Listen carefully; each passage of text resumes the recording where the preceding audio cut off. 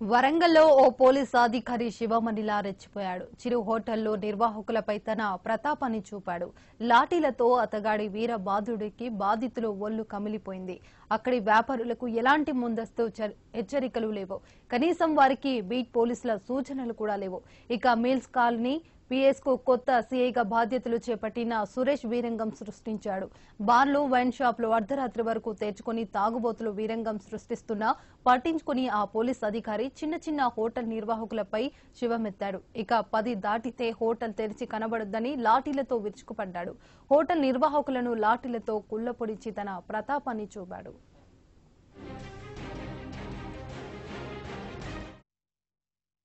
పది నిమిషాలకు mills pole పో కొత్తగా వచ్చిన సిఐ సురేష్ గారు చిరు వ్యాపారులపై షమిడిపేట జంక్షన్ నుంచి వెళ్ళి ఆ, కరీమాబాద్ మీదుగా జన్మభూమి జంక్షన్. ఇట్లా ప్రతి సెంటర్లలో పది గంటల ఇరవై నిమిషాలకు చిరు వ్యాపారాలను వెంటనే బంద్ చేయాలని చెప్పి కౌంటర్ల మీద ఉన్న యజమానుల గుంజి కొడుతూ కస్టమర్లను కూడా భయభ్రాంతులకు గురి చేసి వాళ్ళను పక్కనే ఉన్న బార్ షాప్లను వదిలేసి వీళ్ళను వీళ్ళను ఉరికించుకుంటూ కొట్టడం అనేది రౌడీలాగా బిహేవ్ బిహేవ్ చేసి ఇవాళ ఆ రెండు జీబులలో పది మంది పోలీసులు కాదు వీళ్ళు రౌడీలాగా బిహేవ్ చేసుకుంటూ యజమానులను కొట్టడం మాత్రం ఇలా ఎంతో తీవ్ర వ్యాపార వర్గాలు చాలా ఇబ్బందికరంగా ఉన్నది.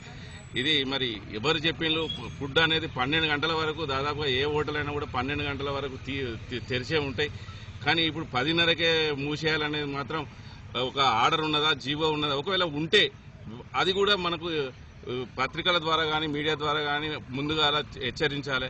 అది చెప్పకుండా డైరెక్ట్గా రౌడీలాగా బిహేవ్ చేసుకుంటూ వచ్చి యజమానులను కౌంటర్ల మీద నుంచి వెళ్ళి గుంజి కొట్టడం అనేది మాత్రం ఇది సిపి గారు దీన్ని పరిగణనలో తీసుకోవాలని వెంటనే సస్పెండ్ చేయాలని మేము డిమాండ్ చేస్తున్నాం.